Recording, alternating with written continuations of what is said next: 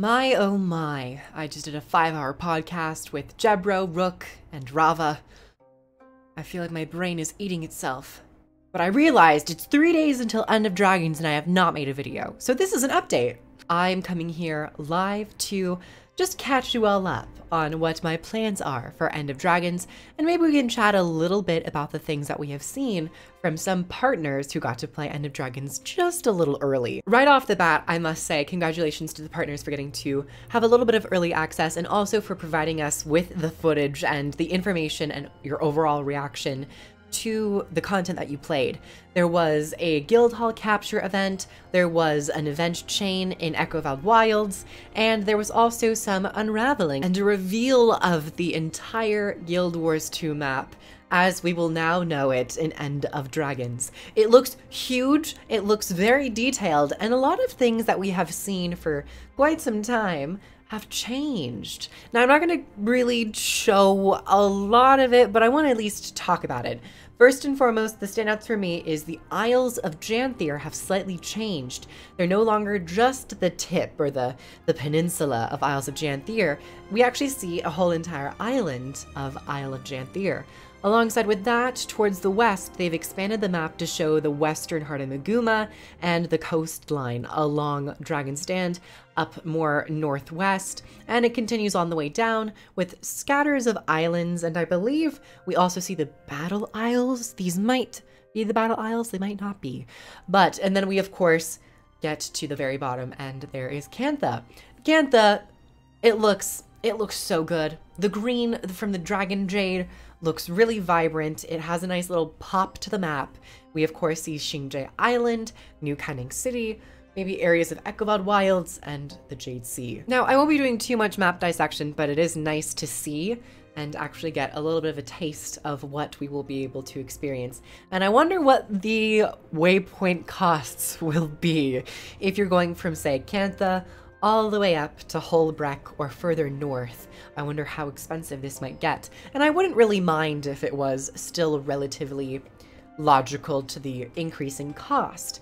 I think traveling that far should require some silver. And then maybe there are other methods if you really are short on silver you can take a ship, which might take a bit longer. As for the other content that we saw, the mission in Echovald Wilds was the same that was shown to us through the blog posts, through text, but now we actually have some video footage of it, and I really enjoyed watching it. Everything that has been circulating around these pieces of media say that this event isn't as difficult as maybe a raid boss, but it's definitely not as easy as, say, some of the Path of Fire situations or maybe other Strike Mission boss fights. It seems to be kind of a nice middle ground where it still requires you to be present in the fight and kind of pick up on the mechanics as you go without being a complete pain in the butt and impossible to conquer. So that is really nice to see in my book. And of course, this is not the meta event, and it looked fairly cinematic and well constructed.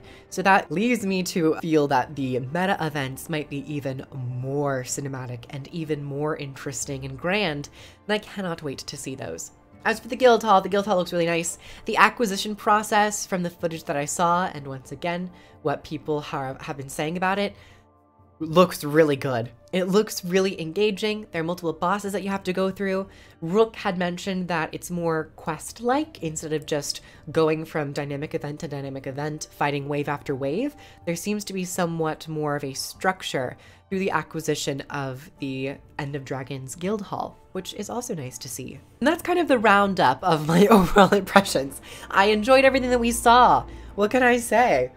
We're going to be able to play it here in about three days, or two days, or one day, or it's already out, depending on when you watch this video. than that, I wanted to catch you all up and get you up to speed as to what my plans are for End of Dragons. So for here on this channel, I'm going to be doing a Let's Play through it. I might not do an extreme walkthrough where I show you every minute to minute aspect of it. I might do a bridged series where I take each chapter or each act and I kind of edit it down to be a little bit more consumable where you get the major plot points, you get my major reactions and theories, and it might be a little bit more digestible that way. Alongside that, I will be interested in covering some of the strike missions to maybe provide some judgment on those strike missions and also the meta events as well. There's going to be a lot more theory crafting with builds come End of Dragons, further balance patching, things that might have been updated since beta 4 and now that we actually have the end of dragons elite specs coming to the game permanently we are to have some more time to figure out some fun and cool builds so that's also coming to the channel Along with videos, I am also doing a bunch of Twitch stuff. I actually stream over on Twitch consistently.